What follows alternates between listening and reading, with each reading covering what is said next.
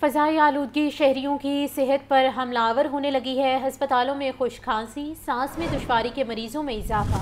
Influenza की vaccine भी नायाब हो गई। बच्चों में नमूनिया, चेस्ट इन्फेक्शन और खुश खांसी के केसेस बढ़ गए।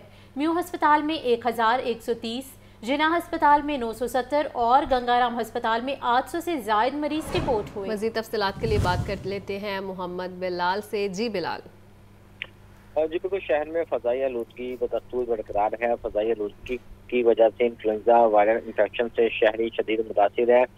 जबकि इस वक्त फ्लू की जो वैक्सीन है, ये भी नायाब है, जिसकी वजह से जो शहरी है, जिनको फ्लू का आर्जा मुबला है, उनको शदीद दुशारी का सामना करना पड़ रहा है। जबकि इसके साथ साथ अस्पतालों में खुश्क खांसी और सांस में दुशारी के मरीजों में भी इजाफा जारी है, जबकि बच्चों के अंदर नमोनिया, चेस्ट इन्फेक्शन और खुश खांसी के मरीजों में इजाफा जारी है, जबकि आँखों में जलन और जल्दी अमराज में भी इजाफा देखने में आ रहा है।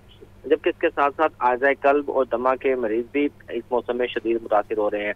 जबकि महकमा सेहत की रिपोर्ट के मुताबिक एक रोज में शहर के पाँच बड़े जो सरकारी अस्पताल है, यहाँ पे स्मोक के सैकड़ों मरीज़ रिपोर्ट हुए हैं। सबसे ज़्यादा मरीज़ म्यो अस्पताल में रिपोर्ट हुआ है जो कि एक हज़ार एक सौ तीस है जबकि जिना अस्पताल में दो सौ सत्तर गंगाराम अस्पताल में आठ सौ चालीस जबकि सर्विसेज़ और जनरल अस्पताल में भी सैकड़ों मरीज़ सामने आए हैं। इस हवाले से जो तिबी माहिर है इनकी जानब से कहा जा रहा है कि इस वक्त फजाई आलूदगी की वजह से इन्फ्लुएंजा और वायरल इन्फेक्शन शदीद किस्म का फैला है बच्चे और बुज़ुर्ग ठीक है बिलाल बहुत शुक्रिया।